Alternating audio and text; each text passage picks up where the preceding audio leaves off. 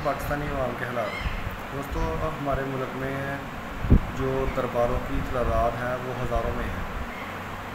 हज़ारों में तादाद है। और ये इतने फारिग लोग हैं कि अगर जब मेला मेला होता है ना साल बाद किसी भी दरबार पर तो हज़ारों नहीं, लाखों लोग वहाँ पहुँचे होते हैं। इतने ये फारिग लोग हैं।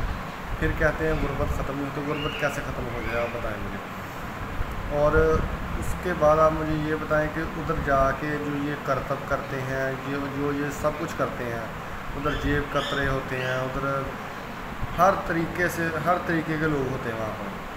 बाकी आपको मैं वीडियो सेंड कर रहा हूँ। वीडियो दिखाता हूँ, ये सब वीडियो में आप गौर कीजिएगा कि उन्होंने क्या क्या लोग कितने कितने फ़ारग लोग हैं।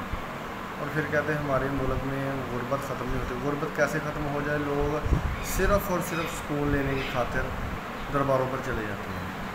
अब ये आप ज़रा देखें और बताएँ।